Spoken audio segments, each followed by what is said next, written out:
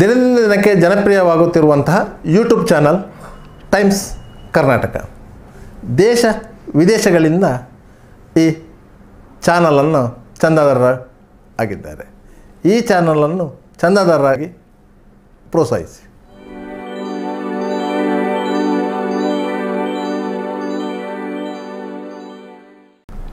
Civil ವ್ಯಾಜ್ಯಗಳಲ್ಲಿ ಪೊಲೀಸರು ಮೂಗು ತೂರಿಸುವಂತಿಲ್ಲ. ಆದರೆ ಅನಿವಾರ್ಯ ಸಂದರ್ಭದಲ್ಲಿ ಪೊಲೀಸರ ಪ್ರವೇಶ ಆಗಿಯೇ ಆಗತ್ತೆ. ಇಲ್ಲದಿದ್ದರೆ ಸಿವಿಲ್ ವ್ಯಾಜ್ಯಕ್ಕೆ ಸಂಬಂಧಿಸಿದಂತೆ ಕ್ರಿಮಿನಲ್ ವ್ಯಾಜ್ಯಗಳು ಕ್ರಿಯೇಟ್ ಆಗ್ತವೆ. ಇಂಥ ಒಂದು ಸಿವಿಲ್ ವ್ಯಾಜ್ಯ ವಕೀಲರು ಮತ್ತು ಪೊಲೀಸರು ಮಧ್ಯೆ ಸಂಘರ್ಷವನ್ನು ಹುಟ್ಟು ಹಾಕಿತ್ತು. ಇದು ನಡೆದದ್ದು ಸಾವಿರದ ಒಂಬೈನೂರ ತೊಂಬತ್ತ ನಾಲ್ಕರಲ್ಲಿ ಮಂಗಳೂರಿನ ಹೊರವಲಯದ ಹೊಸಬೆಟ್ಟು, ಈಗ ಅಭಿವೃದ್ಧಿ ಆಗಿರುವಂಥ ಪ್ರದೇಶ. ಆ ಕಾಲದಲ್ಲಿ ಸಾಕಷ್ಟು ಅಭಿವೃದ್ಧಿ ಆಗಿರಲಿಲ್ಲ. ಹ, ರಾಷ್ಟ್ರೀಯ ಹೆದ್ದಾರಿಯ ಬದಿಯಲ್ಲಿ ಖಾಲಿ ಜಾಗೆಗಳು ಇತ್ತು. ಮಂಗಳೂರಿಂದ ಹೊರಟ್ರೆ ಬೈಕಂಪಾಡಿ ಜಂಕ್ಷನ್ ಬಿಟ್ಟರೆ ಕುಳೈ ಒಂದು ಸಣ್ಣ ಪೇಟೆ, ಅದರ ನಂತರ ಹೊಸಬೆಟ್ಟು ಅದರಿಂದ ಸುರತ್ಕಲ್ವರೆಗೂ ಖಾಲಿ ಜಾಗಗಳಿತ್ತು. ಆಗ ತಾನೇ ಮಂಗಳೂರಲ್ಲಿ ರಿಯಲ್ ಎಸ್ಟೇಟ್ ವ್ಯವಹಾರಗಳು ಗರಿ ಗೆದರಿದಂಥ ಸಂದರ್ಭ. ಇಲ್ಲಿ ಅಪಾರ್ಟ್ಮೆಂಟ್ಗಳು ಕಟ್ಟಡಗಳ ನಿರ್ಮಾಣ ಕಾರ್ಯ ಆಗ್ತಾಯಿತ್ತು ಇಂಥ ಸಂದರ್ಭದಲ್ಲಿ ಕಟ್ಟಡಗಳ ನಿರ್ಮಾಣಕ್ಕೆ ಗ್ರಾನೈಟ್ ಮಾರ್ಬಲ್ಗಳ ಅವಶ್ಯಕತೆ ಇದೆ ಅಂತ ಹೇಳಿ ರಾಜಸ್ಥಾನ ಆ ಕಡೆಯಿಂದ ಗ್ರಾನೈಟ್ ಉದ್ಯಮಿಗಳು, ಮಾರ್ಬಲ್ ಉದ್ಯಮಿಗಳು ಇಲ್ಲಿ ಮಂಗಳೂರಿಗೆ ಬಂದು ರಾಷ್ಟ್ರೀಯ ಹೆದ್ದಾರಿ ಪಕ್ಕದ ಖಾಲಿ ಜಾಗವನ್ನು ಲೀಸಿಗೆ ಇಲ್ಲದ್ರೆ ಬಾಡಿಗೆಗೆ ಪಡೆದುಕೊಂಡು ಒಂದು ಸಣ್ಣ ಶೆಡ್ ಕಟ್ಟಿಕೊಂಡು ಅಲ್ಲಿ ಗ್ರಾನೈಟ್ ಬಿಸ್ನೆಸ್ ಸ್ಟಾರ್ಟ್ ಮಾಡಿದರು. ಇದು ಮತ್ತೊಂದು ಉದ್ಯಮವಾಗಿ ಮಂಗಳೂರಲ್ಲಿ ಬೆಳೀತು. ಯಾಕಂದರೆ ತೊಂಬತ್ತ ನಾಲ್ಕರ ಹಿಂದೆ ಮಂಗಳೂರಿನ ಯಾವುದೇ ಕಟ್ಟಡಗಳಿಗೆ ಗ್ರಾನೈಟ್, ಮಾರ್ಬಲ್ಗಳನ್ನು ಹಾಕುವಂಥ ಪದ್ಧತಿ ಏನಿದ್ದರೂ ಕಾವಿ, ಸಿಮೆಂಟ್ ಹಾಕಿ ಸಾರಣೆ ಮಾಡುವಂಥ ಪರಿಸ್ಥಿತಿ ಇತ್ತು. ಆ ಸಂದರ್ಭದಲ್ಲಿ ಕಿನ್ನಿಗೋಳಿಯ ಕ್ರಿಶ್ಚಿಯನ್ ದಂಪತಿ ಹೊಸಬೆಟ್ಟಿನಲ್ಲಿ ಒಂದು ಸುಮಾರು ಒಂದು ಐವತ್ತು ಸೆನ್ಸ್ನಷ್ಟು ಜಾಗವನ್ನು ಐದು ವರ್ಷಗಳ ಲೀಸಿಗೆ ಪಡೆದುಕೊಂಡಿದ್ದರು ಪಡೆದುಕೊಂಡು ಅಲ್ಲಿ ಗ್ರಾನೈಟ್ ಉದ್ಯಮವನ್ನು ಆರಂಭಿಸಿದರು. ಅವರು ತಿಂಗಳಿಗೆ ಇಷ್ಟು ಅಂತೇಳಿ ನೆಲ ಬಾಡಿಗೆ ಕೊಡಬೇಕಿತ್ತು. ಯಾವುದೇ ಕಟ್ಟಡ ಇರಲಿಲ್ಲ. ಅವರೊಂದು ಸಣ್ಣ ಶೆಡ್ ಹಾಕಿ ಅದರಲ್ಲಿ ಆಫೀಸ್ ಟೈಪಲ್ಲಿ ಮಾಡಿಕೊಂಡಿದ್ರು. ಮತ್ತು ಖಾಲಿ ಜಾಗದಲ್ಲಿ ಗ್ರಾನೈಟ್ ಮತ್ತು ಮಾರ್ಬಲ್ಗಳನ್ನು ಶೇಖರಿಸಿಟ್ಟಿದ್ರು. ವ್ಯವಹಾರ ನಡೀತಾ ಇತ್ತು. ಇಂಥ ಸಂದರ್ಭದಲ್ಲಿ ಆ ಜಾಗಕ್ಕೆ ಬೇರೆ ಒಂದು ಪಾರ್ಟಿ ಬಂತು, ಯಾಕಂದರೆ ಖರೀದಿಸಲಿಕ್ಕೆ. ಆಗ ಜಾಗದ ಮಾಲೀಕರು ಈ ಕ್ರಿಶ್ಚಿಯನ್ ಪಾರ್ಟಿ ಹತ್ರ ಜಾಗವನ್ನು ಬಿಟ್ಟುಕೊಡಲಿಕ್ಕೆ ಕೇಳಿದರು. ಆಗ ಅವರು ಹೇಳಿದರು, ನಮಗೆ ಐದು ವರ್ಷದ ಲೀಸ್ ಅಗ್ರಿಮೆಂಟ್ ಇದೆ. ಐದು ವರ್ಷದವರೆಗೆ ನಾವು ಇಲ್ಲಿ ವ್ಯವಹಾರ ಮಾಡ್ತೇವೆ. ಅಲ್ಲಿವರೆಗೆ ನಾವು ಬಿಟ್ಟು ಕೊಡೋದಿಲ್ಲ ಅಂತೇಳಿ ಯಾಕಂದರೆ ಲೀಸ್ ಅಗ್ರಿಮೆಂಟನ್ನು ಕ್ಯಾನ್ಸಲ್ ಮಾಡಲಿಕ್ಕೆ ಆಗೋದಿಲ್ಲ. ಅದನ್ನು ರಿನ್ಯೂವಲ್ ಮಾಡುವ ಸಂದರ್ಭದಲ್ಲಿ ಒಂದು ಮುರಿಬೇಕು ಇಲ್ಲದ್ರೆ ಪುನಃ ಕಂಟಿನ್ಯೂ ಮಾಡಬೇಕು. ಇದು ಜಾಗದ ಓನರಿಗೂ ಲೀಸಿಗೆ ತೆಗೆದುಕೊಂಡ್ರೆ ತಿಕ್ಕಟ್ಟಕ್ಕೆ ಕಾರಣ.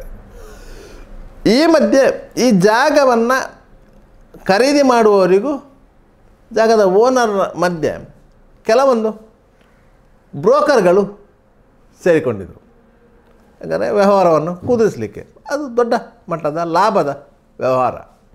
ಈ ಬ್ರೋಕರ್ಗಳ ವ್ಯವ, ವ್ಯವಹಾರ ಆಗ್ತದೆ. ಅದು ಹೇಗಿರ್ತದೆ ಅಂತೇಳಿದರೆ ಜಾಗದ ಓನರಿದ್ದು ಒಂದು ರೇಟ್ ಇರ್ತದೆ. ಆ ರೇಟನ್ನು ಜಾಗದ ಓನರಿಗೆ ಕೊಟ್ಟರೆ ಜಾಗದ ಓನರ್ ಇದು ಮುಗೀತದೆ. ಈ ಬ್ರೋಕರ್ಗಳು ಜಾಗವನ್ನು ಖರೀದಿಸುವವರಿಗೆ ಇನ್ನೊಂದು ರೇಟ್ ಹೇಳಿರ್ತಾರೆ. ಇದು ಕಮಿಷನ್ ವ್ಯವಹಾರ ಅಲ್ಲ. ಈ ರಿಯಲ್ ಎಸ್ಟೇಟ್ ವ್ಯವಹಾರದಲ್ಲಿ ಕೆಲವು ರೀತಿಯ ವ್ಯವಹಾರಗಳಿವೆ. ಕಮಿಷನ್ ವ್ಯವಹಾರಗಳಿರೋದು ಇಟ್ಟು ವ್ಯವಹಾರ ಮಾಡೋದು ಅಂತೆಲ್ಲ ಇರ್ತದೆ. ಯಾಕಂದ್ರೆ ಜಾಗದ ಓನರ್ ಹೇಳಿರ್ತಾರೆ ನನ್ನ ಜಾಗಕ್ಕೆ ಒಂದು ಲಕ್ಷ ರೂಪಾಯಿ ನನಗೆ ಸಿಕ್ಕಿದರೆ ಸಾಕು ಅಂತೇಳಿ ಬ್ರೋಕರ್ ಏನು ಮಾಡ್ತಾನೆ ಅಂದರೆ ಅದೇ ಜಾಗಕ್ಕೆ ಎರಡು ಲಕ್ಷ ರೂಪಾಯಿ ರೇಟ್ ಫಿಕ್ಸ್ ಮಾಡಿ ಗಿರಾಕಿ ಹುಡುಕ್ತಾನೆ. ವ್ಯವಹಾರ ಕೂದಿರಿದೆ ಜಾಗದ ಓನರಿಗೆ ಕೊಡಲಿಕ್ಕೆ ಇರೋದು ಒಂದೇ ಲಕ್ಷ. ಮತ್ತೊಂದು ಲಕ್ಷವನ್ನು ಬ್ರೋಕರ್ ಹೊಡ್ಕೋತಾನೆ. ಈ ರೀತಿಯ ವ್ಯವಹಾರಗಳು ನಡಿ- ನಡೀತದೆ. ಜಾಗದ ವ್ಯವಹಾರದಲ್ಲಿ ತುಂಬ ರೀತಿಯ ವ್ಯವಹಾರಗಳು ನಡೀತದೆ.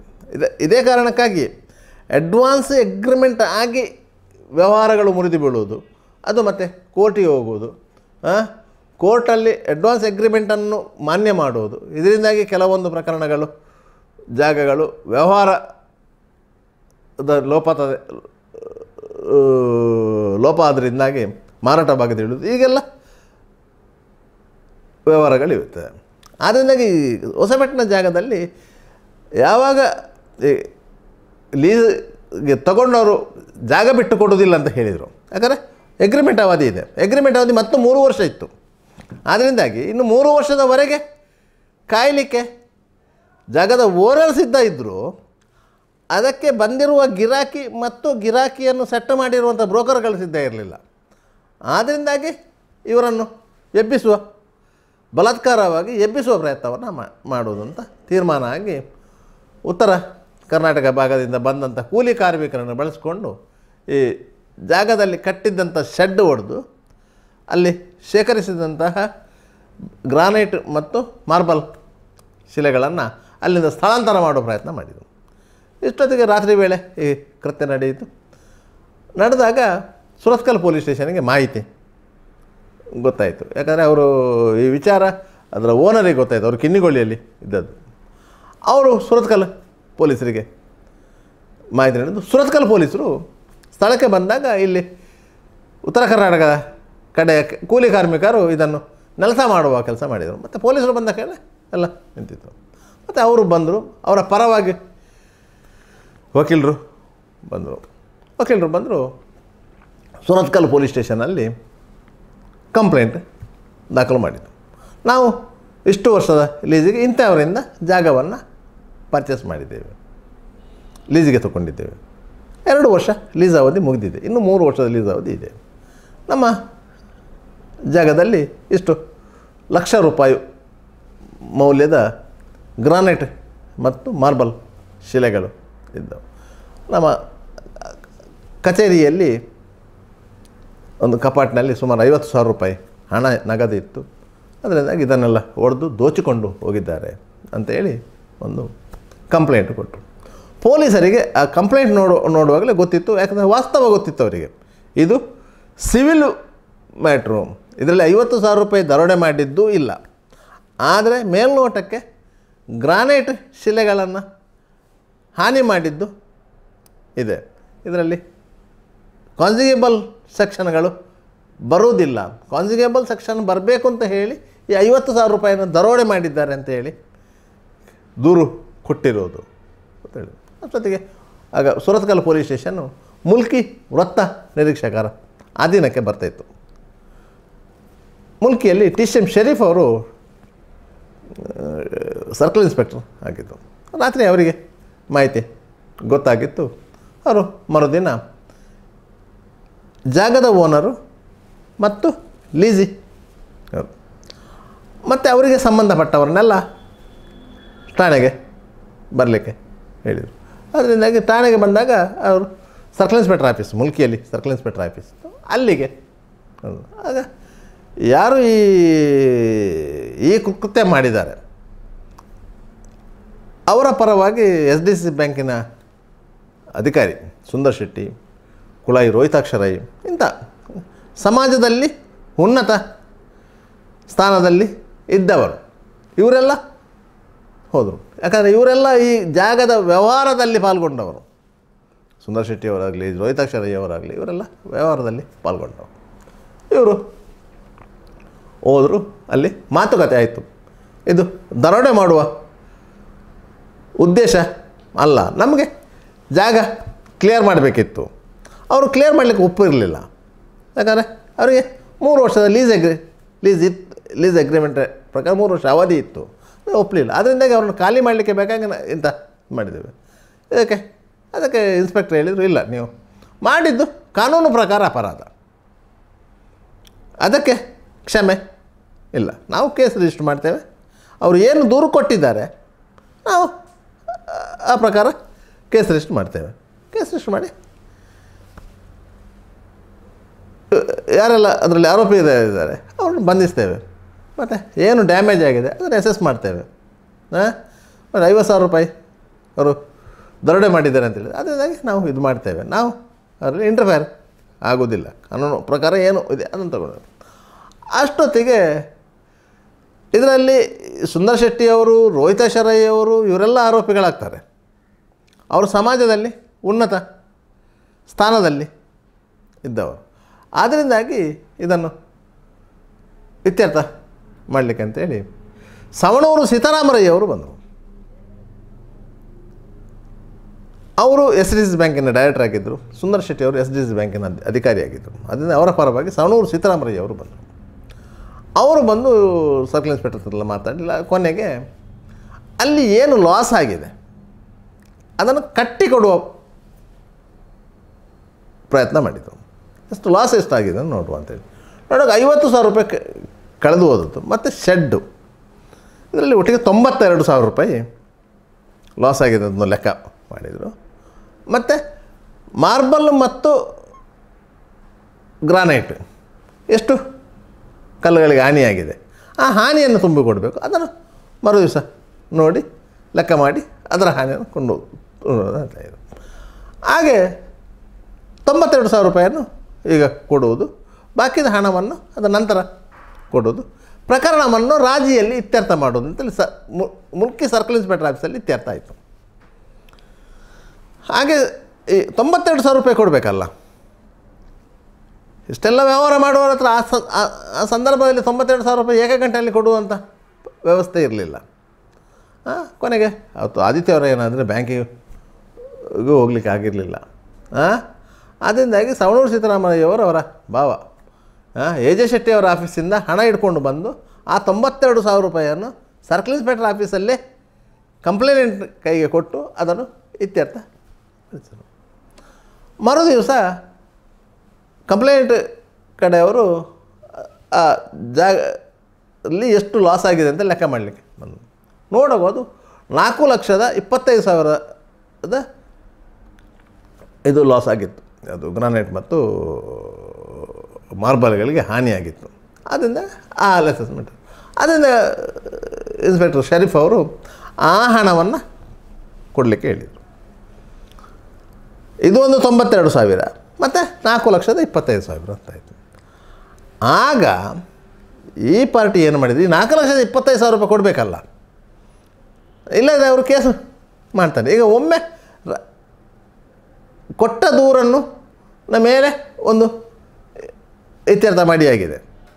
ಯಾಕಂದರೆ ಮುಚ್ಚಳಿಕೆ ಬರ್ಕೊಂಡಾಗಿದೆ ಅದರಿಂದಾಗಿ ಈ ಹಣವನ್ನು ಕೊಡದೆ ಇರಬೇಕಾದ್ರೆ ಏನು ಮಾಡಬೇಕಂದ್ರೆ ಹೇಳಿ ಮಂಗಳೂರಿನ ವಕೀಲ ಪಿ ಪಿ ಹೆಗ್ಡೆ ಅವ್ರನ್ನ ಸಂಪರ್ಕ ಮಾಡಿದರು. ಪಿ ಪಿ ಹೆಗ್ಡೆ ಅವರು ಹೇಳಿದರು, ನೀವು ಹಣ ಕೊಡೋದು ಬೇಡ. ಪೊಲೀಸರಿಗೆ ಅಧಿಕಾರವೇ ಇಲ್ಲ ಹಣ ವಸೂಲಿ ಮಾಡುವಂಥದ್ದು. ಅದೇನು ಪಂಚಾಯಿತಿ ಕಟ್ಟೆ ಅಲ್ಲ. ಅನ್ನು ಕಾನೂನು ಪ್ರಕಾರ ಕ್ರಮ ಕೈಗೊಳ್ಳಬೇಕು ಕಾನೂನು ಪ್ರಕಾರ ಕ್ರಮಗಳು ಅದು ಸಿವಿಲ್ ಮ್ಯಾಟ್ರು ಸಿವಿಲ್ ಮ್ಯಾಟ್ರಲ್ಲಿ ಪೊಲೀಸರು ಇಂಟರ್ಫೇರ್ ಆಗುವಂಗಿಲ್ಲ. ನಾವು ಪ್ರೈವೇಟ್ ಕೇಸು ಮಾಡುವ ಪಿ ಸಿ ಆರ್ ಮಾಡುವ ಅಂತೇಳಿ ಪ್ರೈವೇಟ್ ಕೇಸ್ ರಿಜಿಸ್ಟರ್ ಅಂತ ಹೇಳ್ತಾರೆ ಅವರು ಹಾಗೆ ಈ ಪ್ರಕರಣದಲ್ಲಿ ಮುಲ್ಕಿ ಸರ್ಕಲ್ ಇನ್ಸ್ಪೆಕ್ಟ್ರು ಮತ್ತು ಇತರರ ಮೇಲೆ ಒಂದು ಪ್ರೈವೇಟ್ ಕೇಸನ್ನು ಫೈಲ್ ಮಾಡಿದರು. ಯಾಕಂದರೆ ಕಂಪ್ಲೇಂಟ್ ಕಡೆಯಿಂದ ಮುಲ್ಕಿ ಇನ್ಸ್ಪೆಕ್ಟರ್ ಶರೀಫ್ ಮತ್ತು ಇತರರು ಸೇರಿಕೊಂಡು ತೊಂಬತ್ತೆರಡು ಸಾವಿರ ರೂಪಾಯಿನ ದರೋಡೆ ಮಾಡಿದ್ದಾರೆ ಎನ್ನುವುದೊಂದು ಕಂಪ್ಲೇಂಟು.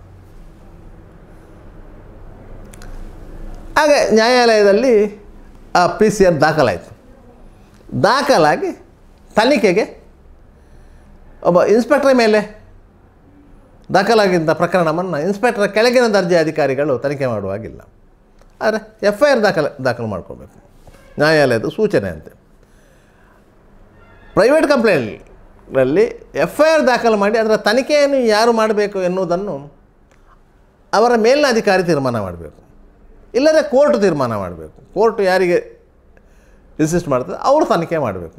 ಆ ಪ್ರಕರಣದಲ್ಲಿ ಯಾರಿಗೆ ಅಂದರೆ ಕೋರ್ಟ್ ಇನ್ಸಿಸ್ಟ್ ಮಾಡಿರಲಿಲ್ಲ. ಆದ್ದರಿಂದಾಗಿ ಮೇಲಿನ ಅಧಿಕಾರಿ ಮಾಡಬೇಕು. ಯಾಕಂದರೆ ಇನ್ಸ್ಪೆಕ್ಟರ್ ಮೇಲಿನ ಅಧಿಕಾರದ ಡಿ ಎಸ್ ಪಿ ಮಟ್ಟದಲ್ಲಿ ತನಿಖೆ ಆಗಬೇಕು. ಅದರಲ್ಲಿ ಪ್ರೈವೇಟ್ ಕಂಪ್ಲೇಂಟಲ್ಲಿ ಎಫ್ ಐ ಆರ್ ಆಯಿತು ಅಂತ ಹೇಳಿದ ಕೂಡಲೇ ಪೊಲೀಸರು ಅರೆಸ್ಟ್ ಮಾಡುವಾಗಿಲ್ಲ. ಎಫ್ ಐ ಆರ್ ಆದ ಕೂಡಲೇ ಎಫ್ ಐ ಆರ್ ಎಲ್ಲ ಪವರ್ಗಳನ್ನು ಇನ್ವೆಸ್ಟಿಗೇಷನ್ ಆಫೀಸರಿಗೆ ಕೊಡ್ತದಂತಾದರೂ ಪೊಲೀಸರು ಅರೆಸ್ಟ್ ಮಾಡುವಾಗಿಲ್ಲ ಸುಪ್ರೀಂ ಕೋರ್ಟ್ನ ರೂಲಿಂಗ್ ಪ್ರಕಾರ. ಯಾಕಂತ ಹೇಳಿದರೆ ಪೊಲೀಸರು ಆ ಪ್ರಕರಣಕ್ಕೆ ಸಂಬಂಧಿಸಿದ ತನಿಖೆಯನ್ನು ನಡೆಸಬೇಕು. ತನಿಖೆಗೆ ಸಂದರ್ಭದಲ್ಲಿ ಆಪಾದಿತರಂದು ಯಾರೊಂದು ಹೇಳ್ತಾರ? ಅವರಿಗೆ ನೋಟಿಸ್ ಕೊಡಬೇಕು. ಅವರನ್ನು ಕರೆಸ್ಕೊ ಕರೆಸ್ಕೊಳ್ಬೇಕು. ಅವರ ಹೇಳಿಕೆಗಳನ್ನು ದಾಖಲಿಸಬೇಕು. ಹಾಂ ಅದರ ಮೇಲೆ ಅವರು ಮಾಡಿದ್ದು ತಪ್ಪು ಅಂತ, ಕಾನೂನು ಪ್ರಕಾರ ತಪ್ಪು ಅಂತ ಕಂಡು ಬಂದರೆ, ಏನಾದರೂ ಮೆಟೀರಿಯಲ್ ಎವಿಡೆನ್ಸ್ ಅಗತ್ಯ ಇದ್ದರೆ ಮಾತ್ರ ಅವರನ್ನು ಅರೆಸ್ಟ್ ಮಾಡಬೇಕು ಎನ್ನುವುದು ಇದೆ. ಈ ಪ್ರಕರಣದಲ್ಲಿ ಮೆಟೀರಿಯಲ್ ಎವಿಡೆನ್ಸ್ ಅಗತ್ಯ ಇಲ್ಲದೇ ಇರುವುದರಿಂದ ಅಲ್ಲಿ ಅರೆಸ್ಟ್ ಮಾಡುವಂಥ ಪ್ರಶ್ನೆ ಇರಲಿಲ್ಲ. ಅದರಿಂದಾಗಿ ಎಫ್ ಐ ಆರ್ ದಾಖಲಾಯಿತು. ಯಾವಾಗ ಎಫ್ ಐ ಆರ್ ದಾಖಲಾಯಿತಾ? ಇದು ಸುಖ ಸುಮ್ಮನೆ. ಇವರು ಮಾಡಿದ ತಪ್ಪನ್ನು ಮುಚ್ಚಿಕೊಳ್ಳಲು ಪೊಲೀಸರ ಮೇಲೆ ಗೂಬೆ ಕೂರಿಸಿದ್ದಾರೆ ಎನ್ನುವುದ ಎನ್ನುವುದು ಇನ್ಸ್ಪೆಕ್ಟರ್ ಶರೀಫ್ ಅವರಿಗೆ ಮುಜುಗರ ಆಯಿತು ಯಾಕಂದರೆ ಶರೀಫ್ ಅವರು ಆ ಪ್ರಕರಣವನ್ನು ಇತ್ಯರ್ಥ ಮಾಡಲಿಕ್ಕೆ ಪ್ರಾಮಾಣಿಕವಾಗಿ ಪ್ರಯತ್ನ ಮಾಡಿದರು. ಎರಡೂ ಪಕ್ಷಗಾರರು, ಅಂದರೆ ಕಂಪ್ಲೇಂಟ್ ಪಾರ್ಟಿ ಮತ್ತು ಎಕ್ಯೂಸ್ಡ್ ಪಾರ್ಟಿ. ಇಬ್ಬರು ಒಟ್ಟಿಗೆ ಕೂತೆ ಒಂದು ಒಡಂಬಡಿಕೆ ಬಂದದ್ದು, ಆ ತೊಂಬತ್ತೆರಡು ಸಾವಿರ ರೂಪಾಯಿಗಳನ್ನು ಕೊಟ್ಟಿರೋದು. ಅದನ್ನೇನು, ಶರೀಫ್ ಅವರು ಒಂದು ರೂಪಾಯಿ ಸಹ ಅದರಲ್ಲಿ ತಗೊಂಡಿರಲಿಲ್ಲ. ಯಾಕಂದರೆ ಪ್ರಕರಣ ಮುಗಿಬೇಕಿತ್ತು. ಅದರ ನಂತರ ಈ ನಾಲ್ಕು ಲಕ್ಷದ ಇಪ್ಪತ್ತೈದು ಸಾವಿರ ರೂಪಾಯಿಯನ್ನು ಉಳಿಸ್ಕೊಳ್ಳಿಕ್ಕೆ ಬೇಕಾಗಿ ಇವರು ಈ ರೀತಿಯಾಗಿ ಪೊಲೀಸರ ಮೇಲೆ ಒತ್ತಡ ತರುವ ಪ್ರಯತ್ನ ಮಾಡಿದ್ರು ಅಂತ ಅವ್ರಿಗೆ ಗೊತ್ತಾಯಿತು. ಅದಕ್ಕೆ ಶರೀಫ್ ಅವರು ಏನು ಮಾಡಿದರು ಅಂತ ಹೇಳಿದರೆ ಮುಳ್ಳನ್ನು ಮುಳ್ಳಿನಿಂದಲೇ ತೆಗಿಬೇಕು ಅಂತ ಹೇಳಿ ಕಂಪ್ಲೇಂಟ್ ಪಾರ್ಟಿಯನ್ನು ವಾಪಸ್ ಕರೆಸಿ ಪುನೊಂದು ಕಂಪ್ಲೇಂಟ್ ಬರೆಸ್ಕೊಂಡ್ರು. ಬರೆಸಿ ಇಷ್ಟೂ ಮಂದಿಯ ಮೇಲೆ, ಯಾರೆಲ್ಲ ಇಲ್ಲಿ ದರೋಡೆ ಮಾಡಿದ್ದಾರೆ, ದಾಂಧಲೆ ಮಾಡಿದ್ದಾರೆ, ಇವರ ಮೇಲೆ ಮತ್ತೊಂದು ಎಫ್ ಐ ಆರ್ ಮಾಡಿದರು. ಮೊದಲ ಮೊದಲಿನ ದೂರು ನಾನ್ ನಾನ್ ಆಗಿ ಇತ್ಯರ್ಥ ಆಗಿತ್ತು. ಅದರ ಮೇಲೆ ಮತ್ತೊಂದು ಕಂಪ್ಲೇಂಟ್ ತಗೊಂಡು ಎಫ್ ಐ ಆರ್ ದಾಖಲು ಮಾಡಿಕೊಂಡು ಅದರಲ್ಲಿ ವಕೀಲ ಪಿ ಪಿ ಹೆಗ್ಡೆ ಅವರನ್ನು ಸೇರಿಸಿದರು. ಯಾಕಂದರೆ ಇವರು ಅಲ್ಲಿ ದರೋಡೆ ಮಾಡಿದ ಸಂದರ್ಭದಲ್ಲಿ ಪಿ ಪಿ ಹೆಗ್ಡೆ ಅವರು ಅವರ ಕಾರಲ್ಲಿ ಬಂದು ಇದಕ್ಕೆ ಡೈರೆಕ್ಷನ್ ಕೊಡ್ತಾಯಿದ್ರು ಅಂತ ಹೇಳಿ. ಎಫ್ ಐ ಆರ್ ದಾಖಲಾಯಿತು. ಎಫ್ ಐ ಆರ್ ದಾಖಲಾದ ಕೂಡಲೇ ಈ ರೋಹಿತಾಕ್ಷ ರೈಕುಳಾಯಿ, ಸುಂದರ್ ಶೆಟ್ಟಿ ಇವರನ್ನೆಲ್ಲ ಅರೆಸ್ಟ್ ಮಾಡಿದರು. ರಾಬರಿ ಕೇಸಲ್ಲಿ. ಪಿ ಪಿ ಹೆಗ್ಡೆ ಅವರನ್ನು ಅರೆಸ್ಟ್ ಮಾಡಲಿಕ್ಕೆ ಅಂತಲೂ ಹೋದರು. ಮಾಹಿತಿ ಗೊತ್ತಾಗಿ ಪಿ ಪಿ ಹೆಗ್ಡೆ ಅವರು ಮನೆಯಲ್ಲಿ ಇರಲಿಲ್ಲ, ಅವರನ್ನು ಅರೆಸ್ಟ್ ಮಾಡಲಿಕ್ಕೆ ಆಗಲಿಲ್ಲ. ಅದರ ಮರು ದಿವಸ ಪಿ ಪಿ ಹೆಗ್ಡೆ ಅವರು ಎಫ್ ಐ ಆರ್ ಪ್ರತಿಯನ್ನು ತಗೊಂಡ್ರು. ಯಾಕಂದರೆ ಕೋರ್ಟಲ್ಲಿ ಎಫ್ ಐ ಆರ್ ಪ್ರತಿ ಇರ್ತದೆ. ಯಾವುದೇ ಕೇಸ್ ರಿಜಿಸ್ಟರ್ ಆದರೂ ಅದರ ಒಂದು ಪ್ರತಿ ಕೋರ್ಟಿಗೆ ಹೋಗಿರ್ತದೆ. ಆ ಪ್ರತಿಯನ್ನು ತಗೊಂಡಾಗ ಅಲ್ಲಿ ಪಿ ಪಿ ಹೆಗ್ಡೆ ಅವರ ರೋಲ್ ಅಷ್ಟೇ ಇರೋದು.